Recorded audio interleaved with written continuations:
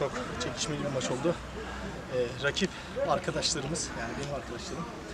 Başta kaptan Ersin, ee, savunmada Hüseyin, Hüsamettin, özellikle kap Barış burada diye zaten söylemedim. Hepsinin ayaklarını sağlık. Çok güzel bir maç oldu. Müthiş çekişmeliydi. Ee, rakip hücum hattında ilk maçımıza göre çok daha iyiydi. Hücum hattında özellikle. Ee, savunmayı inanılmaz toplamışlar. Barış bugün yine %100 goller çıkararak bizi galibiyetten etti.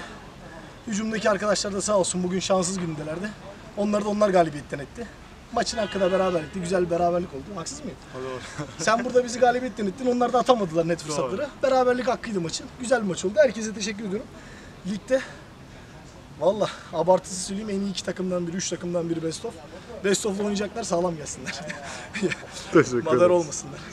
Ferhat abime teşekkür ederim. Dediği gibi biz arkadaşız. Maç çok iyiydi, çok çekişmeliydi. Belki halı saha hayatımın en iyi maçlarından bir tanesiydi.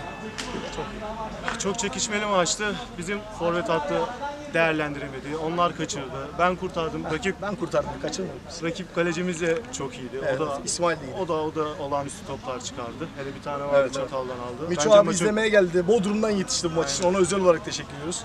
Cemil abi, Gökhan Kibar yoktu. Almir abi bugün takım kaptanımız. Hüseyin abinin yokluğu o da çok iyiydi. Ona da teşekkür ediyoruz. Güzel maç oldu ya. Burada hem de taraftar da vardı bugün her iki takımında. Ee, taraftarlı olunca maçlar daha zevkli oluyor. Ee, müsait zamanlarda insanlar izlemeye gelince hem içeridekiler hem dışarıdakiler de keyif alıyor. Herkese teşekkür ediyoruz. Sizin de elinize hocam da düdüğüne sağlık. Teşekkür ederiz. Teşekkür ederiz. Konuşmayayım. Yok abi olur.